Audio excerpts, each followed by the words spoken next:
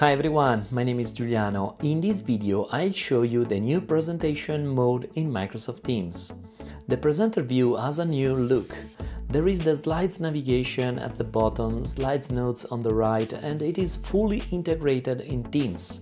You can have a look to the conversation, you can check if someone has raised the hand for questions and the audience can check previous slide during the presentation. Okay, enough talk, let's go forward and I'll show you every step. Let's go. Here I am on my PC and I have Microsoft Teams open. I am in a meeting and we are four people in this meeting. We have two presenters, me, Lee Gu, and two attendees, Adele Vance and Patti Fernandez.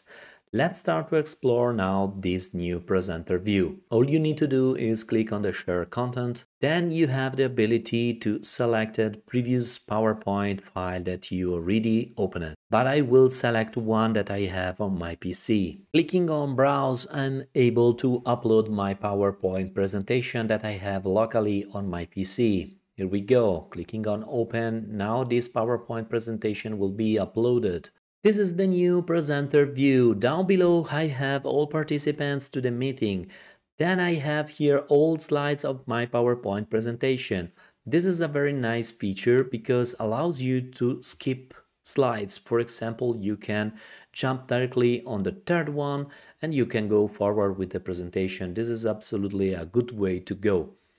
Here in this area I have my slides and on the right I can see the slides notes.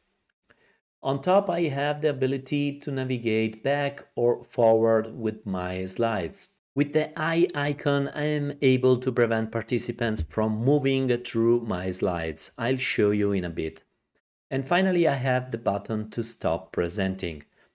Now let's see how it looks like the presenter view from an attendee perspective. I am now Patti Fernandez, an attendee of this meeting. If I move down below here in this area, we can see a new navigation bar appearing.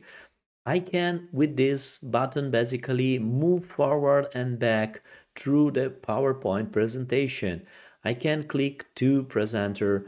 In this way, I am synchronized with the slide that the speaker is presenting right now. Now Patti Fernandez has a question. He can easily click on the icon raise hand. I am now back to the view of Giuliano. Thanks to the presenter view, I am now able to see that someone has raised the hand, Patti Fernandez in this case.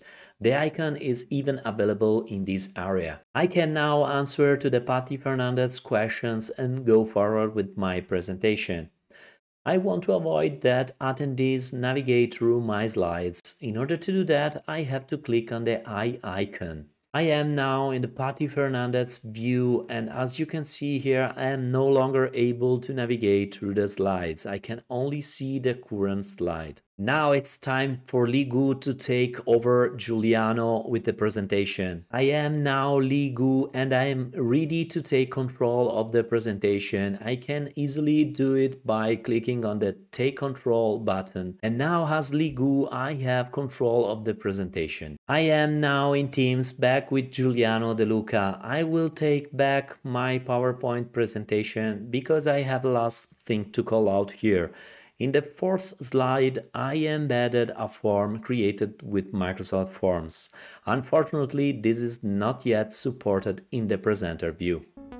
Alright, that was a quick tutorial about the presenter view in Microsoft Teams. If you enjoyed the video, please give a thumbs up and subscribe to my channel to stay tuned with my next videos. Put a comment down below if you want to see me cover any other topics in the future, this is exactly how I build my to-do list for my next videos. I hope to see you next time. Bye.